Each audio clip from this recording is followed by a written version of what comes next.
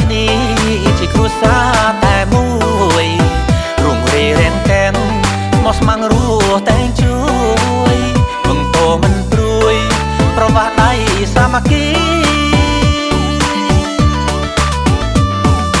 លោកអ្នកគ្រូបង្រៀនមានតម្រឹងស្មារតីបង្ហាត់បង្ហាញកុំអាយុវែវអប់រំប្រពៃ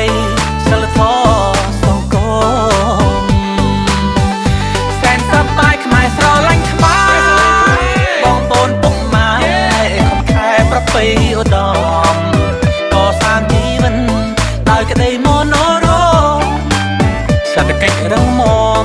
ឧបត្ថម្ភគ្រួសារយើងដល់ថ្លៃថ្លារុងរឿងអើយទឹក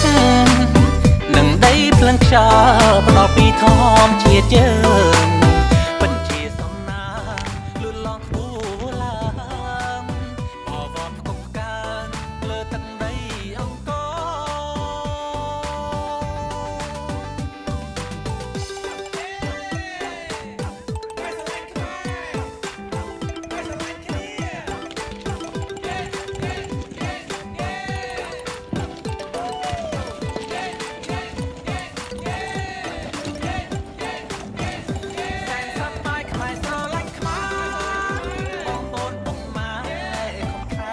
រពៃឧត្ត